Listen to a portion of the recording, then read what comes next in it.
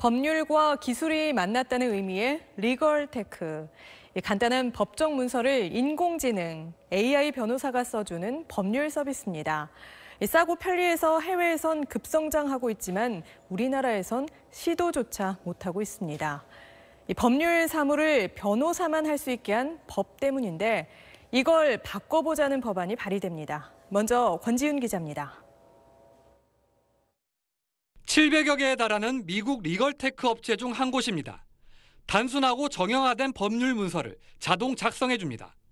예컨대 유언장의 경우 69달러, 우리 돈 8만 원입니다. 우리나라라면 어떨까요? 법률사무소 두 곳에 문의해 봤습니다. 유언장 같은 거 작성하는데 비용이 얼마나 들까요? 이거는 공정 거래 가격이 있는 건 아니라서요. 사무실마다 또 변호사님마다 가격은 틀리겠죠. 내용에 따라서 좀 다를 것 같긴 한데 110 정도 유언장 작성하는 것뿐이라고 하면은 법률 서비스 비용이 훨씬 비싸고 공정 가격이 없어 미리 알 수도 없습니다. 소장 작성이나 법인 등기 등 가능한 분야에서 우리도 리걸 테크를 활성화하기 위해 변호사의 독점적 권한을 깨는 개정안이 처음으로 발의됩니다. 변호사가 아닌 사람도 자동 생성된 법률 문서를 제공하고 대가를 받을 수 있도록 허용한다는 내용입니다.